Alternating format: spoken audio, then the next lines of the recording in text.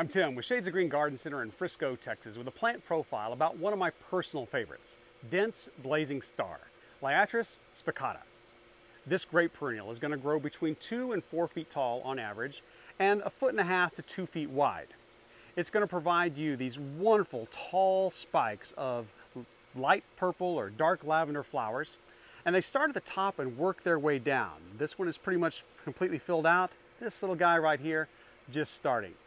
Now here in Collin County, you're gonna see your bloom really come on strong at the end of June or 1st of July, pretty much without fail every single year.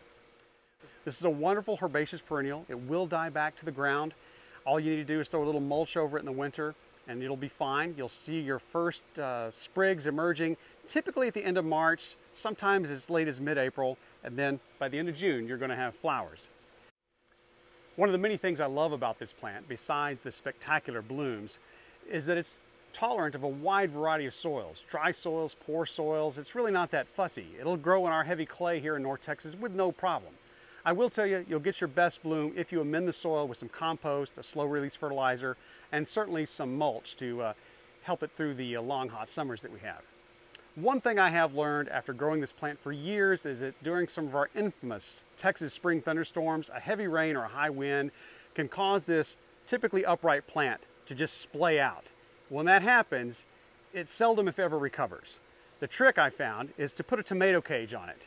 Put it on there at early spring when the plant is just starting to come up, train it as the shoots get taller, right up into that tomato cage like I've done right here, and the plant will stay upright, beautiful, and gorgeous for you all season long.